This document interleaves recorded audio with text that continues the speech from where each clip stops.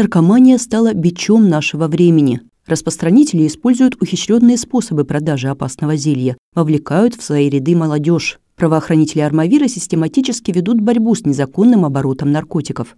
В 2021 году было выявлено и зарегистрировано 204 уголовных дела по линии незаконного оборота наркотиков, как растительного, так и синтетического происхождения. Из них 104 э, уголовных дела, связанных с хранением наркотиков, которые 304 уголовных дела, связаны с хранением в крупном размере, 91 уголовное дело, связанное со сбытом наркотических средств, 4 уголовных дела, связанных с культивацией и выращиванием наркосодержащих растений марихуана.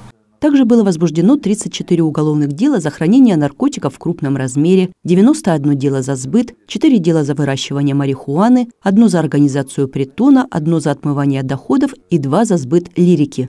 Суд было направлено 138 уголовных дел, из них 105 связанных по факту хранения наркотических средств, 27 э, сбытов наркотиков, из них 21 уголовное дело связано с групповой преступностью и 3 уголовных дела связаны с организованной преступной группой. В прошлом году полицейские изъяли из незаконного оборота почти 4,5 килограмма наркотиков. Это вдвое больше, чем в 2020 году. Также ведется работа по выявлению наркоманов, которых привлекают к административной ответственности. На каждое привлеченное лицо судом была принята мера, обязательная мера, а, связанная с их обязательным лечением, прохождением диагностики. Таких было в том году 170 человек привлечено.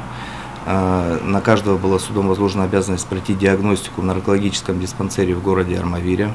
Полицейские просят граждан сообщать о фактах употребления или сбыта наркотиков по телефонам 3 2002 или 112. Можно оставить и анонимное сообщение.